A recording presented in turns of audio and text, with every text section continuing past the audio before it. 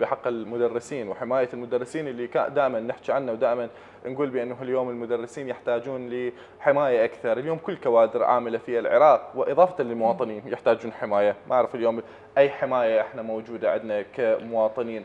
الحادثة صارت في البصرة. طالب عادي مدرس زين رسب بامتحاناته لكن أهله ظاهر بأنه مصدقين بابنهم بأنه هو آه، بهذا التفوق وهو أنه لا لازم ينجح بغض النظر عن أنه هو قرأ أو ما قرأ فعلى من يروحون على مدير المدرسة كون هو المسؤول الأكبر في المدرسة اللي موجوده هناك. الولد اللي نحكي عنه إحنا هو بالثاني متوسط يعني حتى مو بمرحله منتهية ما إلى ذلك. فالقضية هي حتكون محصورة بالمدرسة.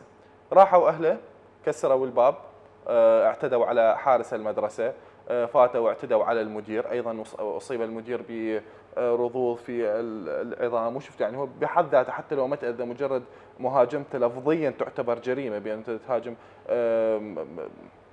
مجرد اقتحام المدرسة بحد ذاتها جريمة. وبعدين هذا المدير يعتبر موظف تابع إلى الدولة ومحمي من قبل الدولة العراقية بكل مؤسساتها وبالأخص وزارة التربية، يعني وزارة التربية مسؤولة مباشرة عن هذا المدرس أو عفوا مدير المدرسة.